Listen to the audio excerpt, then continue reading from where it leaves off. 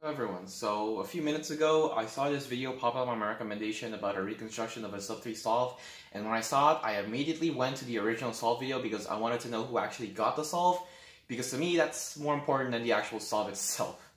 And I'm like, who is this dude?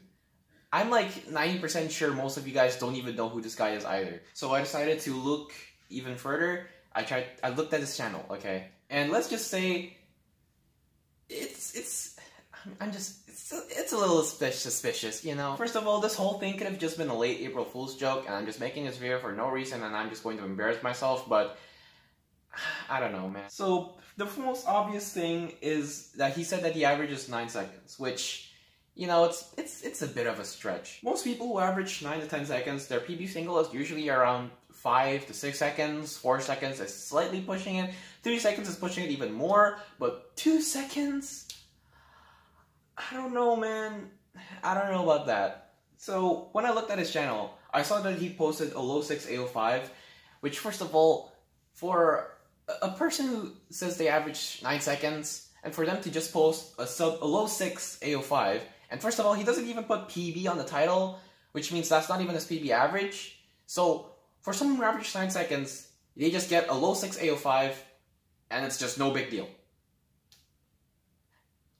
You know, that doesn't that doesn't sound right, you know? And also the fact that if you look at the solves, they seem a little bit too pauseless. I don't think there was like a single frame where I saw him pause once in the whole solve. Maybe for like three frames I saw him pause. Especially the first solve, that PLL transition, I don't know man. I don't know about that. So now let's actually go to the you know the actual solve video. 72 comments, which it's it's more comments than the actual likes that the video has. So uh, yeah, that's not a good sign. There's this comment, and this dude just points out some things that made him seem suspicious. What does this mean? After all of the fails, plus two miscountable lockups, DNFs, it's nice to find the S up three. That that I don't understand. This could mean two things. First, he down solved the scramble so many times until he finally got a good time that, you know, maybe he locked up plus two it so many times until he finally got a good time. Or the second thing, he got so many good scrambles that he somehow has the chance to get sub 3 those many times, but yet he failed because of a plus 2 lock lockup, DNF scramble, all that stuff.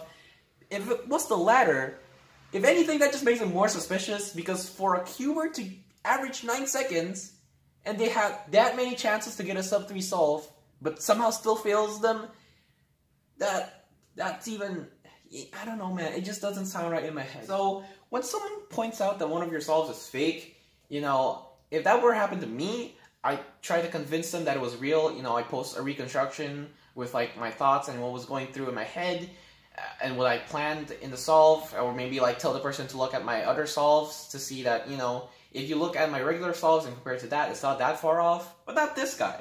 Uh, this guy went on this alternate account and commented, I'm done with cubing. I'm so done with this fucking community. I just tried to upload a fast solve I got on cam and I get shit like this. The solve is real, everything is real, and what the fuck is wrong with it? I don't know, man. The last time I saw something like this, I think it's called gaslighting.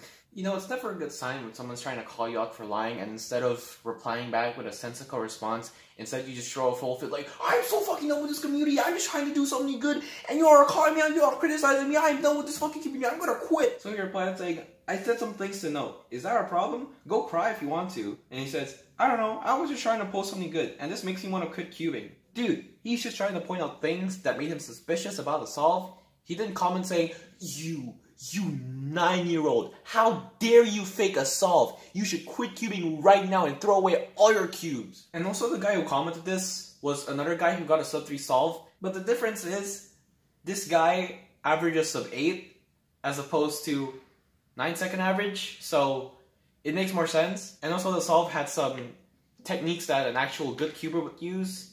Unlike this solve, which was just X cross, free pairs everywhere, and then a PLL skip.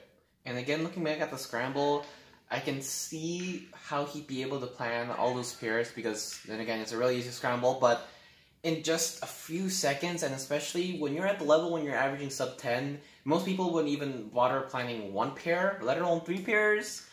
But I don't know, man. That might be a stretch, but I'm just trying to point things out. So yeah, that's that's pretty much it. Um, I don't really have anything else to add. You can put your thoughts in the, the comments. I don't know where else. The only thing I have left to say is um, post an AO50 or an AO100. That's all I'm saying. You know, down solving and faking an average, that's easy, okay? But if he were to go out of his way to fake 50 solves or 100 solves, you're terminally insane. So either admit that it's fake or post an AO50. That, that's pretty much it. That's the end of the video.